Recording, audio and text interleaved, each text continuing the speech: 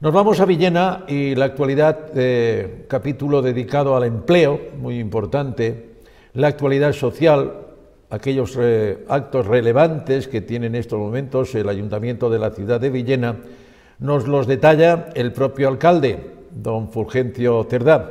Y ya está preparado con el señor alcalde, nuestro compañero José Antonio Serrano, nos vamos al Ayuntamiento de Villena. José Antonio, señor alcalde, gracias por atendernos. Muy buenos días, adelante. Muchísimas gracias, compañero. Efectivamente, estamos en alcaldía, en el despacho de la primera autoridad local de Fulgencio José Cerdán, y le agradecemos que haga un pequeño hueco en la agenda para atendernos. Alcalde, buenos días. Hola, buenos días. Eh, bueno, eh, una pregunta que ahora mismo muchas personas está haciendo, el tema de la vacunación de la Plaza de Toros, parece que esto ya va a arrancar, ¿no? Sí, parece ser por lo que nos han trasladado desde el Departamento de Salud que a partir del 24 de este mes ya van a vacunar en, la Plaza de Toros. Esto es algo que estábamos demandando desde el Ayuntamiento de Villena, desde el primer momento en el que nos dijeron que que la pusiéramos en marcha o que pusiéramos, habilitáramos un espacio para que pudieran vacunar aquí.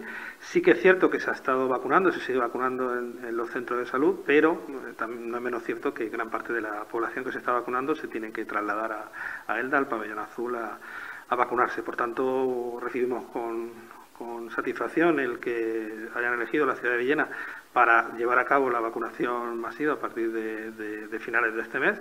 Y nada, está todo dispuesto y seguro que funciona bien porque la implicación de, los sanitarios de nuestra ciudad, de tanto del Centro de Salud 1 como el Centro de Salud 2, ha sido permanente durante durante esta, esta pandemia. Bueno, brevemente, datos buenos. Eh, toquemos madera, ya que tenemos aquí una gran mesa de madera. Eh, alcalde, Villena bien en cuanto al número de casos. Sí, en principio, una vez pasada aquella, aquella ola, en principio de, año, ahora los datos están siendo muy buenos, de los mejores de toda la provincia. Vamos a ver si, si conseguimos mantenernos en, esto, en estos índices. Bueno, a pesar de que tengamos aún alguna pequeña restricción, yo creo que merece la pena porque porque si nos mantenemos así vamos a poder llevar a cabo mayor tipo de actividades, incluso el comercio y la hostelería va a poder seguir funcionando, aunque no sea con la total disponibilidad que se desearía, pero, pero vamos a ser prudentes. Bueno, eh, tratando otro tema, otro asunto, empleo, formación, formación y, empleo. Dijéramos que van unidas de, la mano.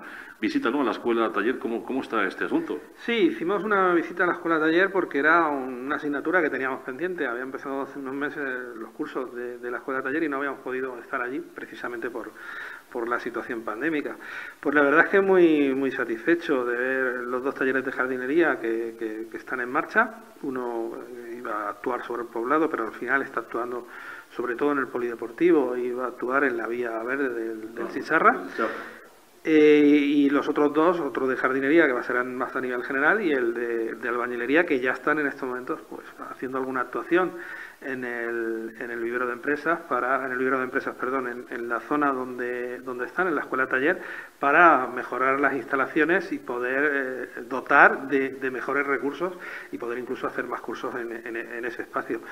Y bueno, eh, al final, no sé, ese contacto humano, ese hablar con, con, las personas que, que están en la escuela taller, que muchos de ellos pues, lo están pasando mal y con esto ven una oportunidad, pues la verdad es que es de, de las cosas buenas que nos podemos llevar los alcaldes a casa. Junta de Gobierno Local que se celebraba en la jornada del lunes, alcalde, eh, eh, tema de, ayudas, que es importante para que los televidentes tengan conocimiento de las mismas.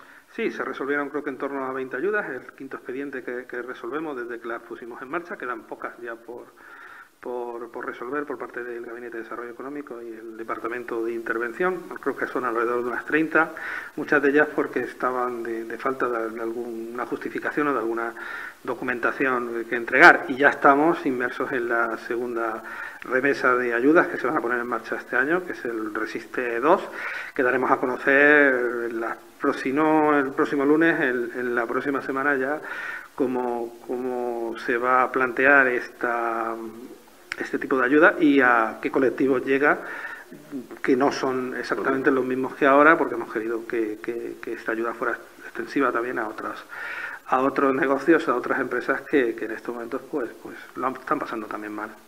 anunciamos que próximamente tendremos la oportunidad de entrevistar al alcalde con temas más, más amplios, con cuestiones que son importantes ¿no? para lo que es la actualidad municipal del día a día.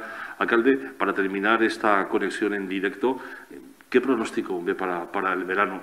Primero es la salud, primero es la, esa recuperación económica, el trabajo, después ya llegará eh, la diversión, aunque hay ganas de, fiestas, porque ya el cuerpo lo pide, alcalde, el pronóstico, verano, septiembre. Yo creo que van a ser una, un verano mejor que el, que el, verano pasado, pero va a ser un verano con, con, restricciones. Hay que tener en cuenta que no hemos vencido aún la pandemia. El, el nivel de inmunización de rebaño, como me están diciendo, no se va a alcanzar hasta bien adentrado, de octubre, por tanto va a ser muy difícil que, que, nos permitan llevar a cabo ciertos eventos. No obstante, bueno, vamos, vamos a, a, ver poco a poco, vamos a ver la radiografía del municipio y del, y del país en cada, cada, momento y de la comunidad autónoma y, y hay decisiones que no dependen de, de, un alcalde, hay decisiones que dependen de la, bien de la Consellería o bien del, del Gobierno central. Por tanto, de las fiestas siguen en el aire, va a ser muy complicado, ya lo digo y no me escondo en decir lo que se puedan llevar a cabo unas fiestas mucho. ¿eh? Claro, como las que nosotros conocemos, puede ser que algún pequeño acto está por decidir, lo queremos decidir con la, con la Junta Central de Fiestas y con el resto de, de comparsas.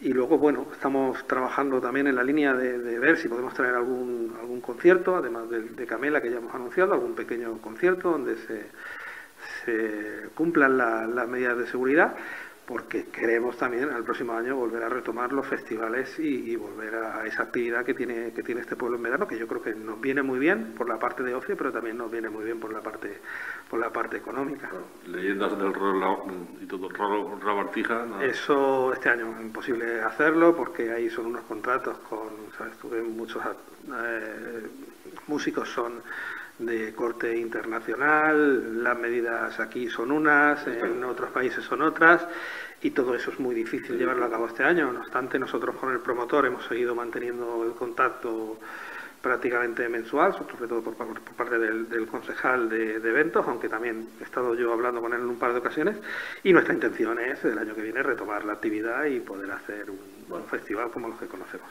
Pues ojalá que así sea. Alcalde, muchísimas gracias por habernos atendido. Que vaya bien la jornada. A vosotros. Gracias, compañeros. Seguimos adelante.